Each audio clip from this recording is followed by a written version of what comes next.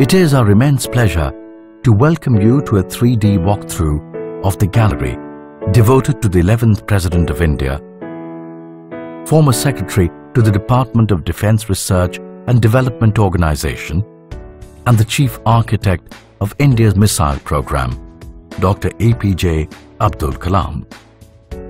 The gallery was inaugurated by Honorable Prime Minister Sri Narendra Modi on the 84th birth anniversary of Dr. Kalam at this DRDO complex, New Delhi.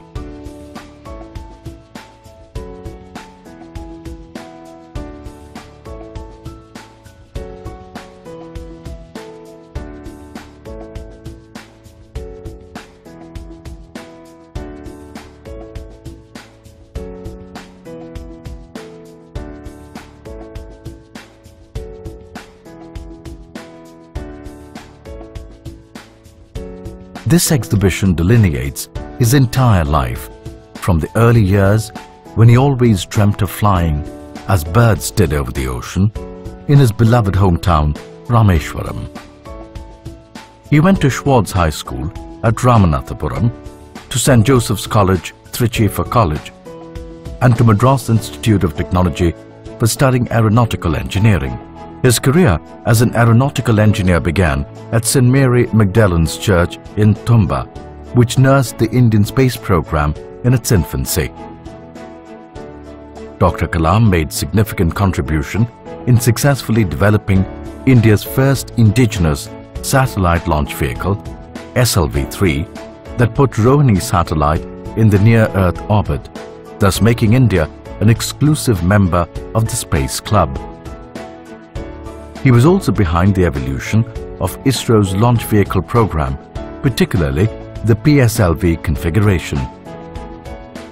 Having realized the country's launch vehicle technologies at ISRO, Dr. Kalam conceived the Integrated Guided Missile Development Program for developing strategic missiles, tactical missiles and anti-tank guided missile. This has resulted in the birth of other programs like ballistic missile defense and development of air-to-air -air missiles. This is where he was given the sobriquet of the Missile Man of India.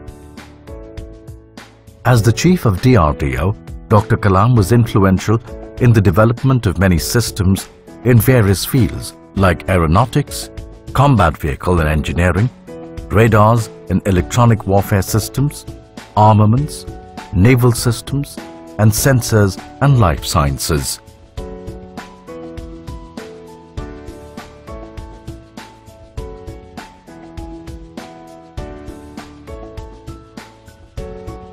This section showcases the critical technologies that were indigenously developed by India.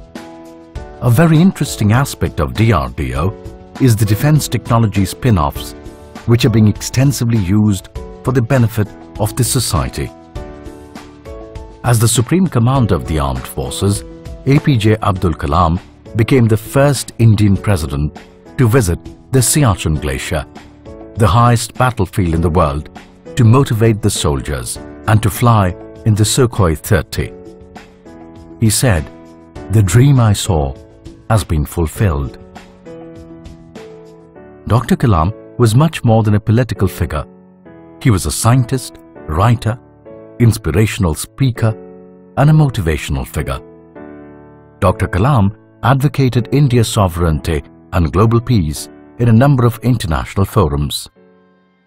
This part of the exhibition is aptly entitled as Inspiring Lives, but that is exactly what Dr. Kalam did through his various interactions with people from across the spectrum for the empowerment of people of India to realize his vision of developed India.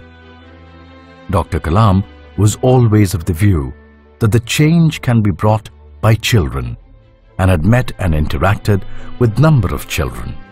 He is fondly remembered as Children's Kalam. Renowned as the most distinguished scientist of India, Dr. Kalam has the unique honor of receiving honorary doctorates from 48 national and international universities and institutions to his name.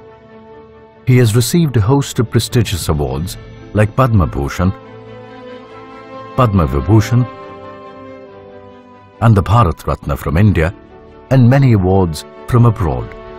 He articulated his thoughts through his numerous books.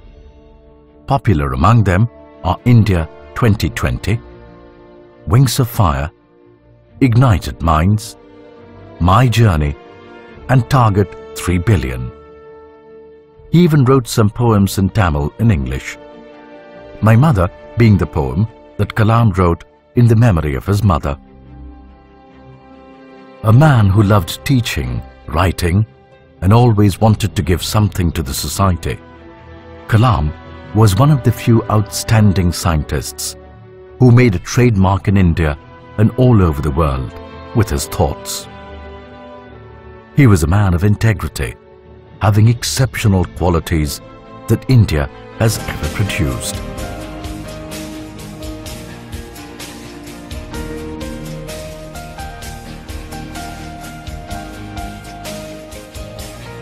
Jai Hind.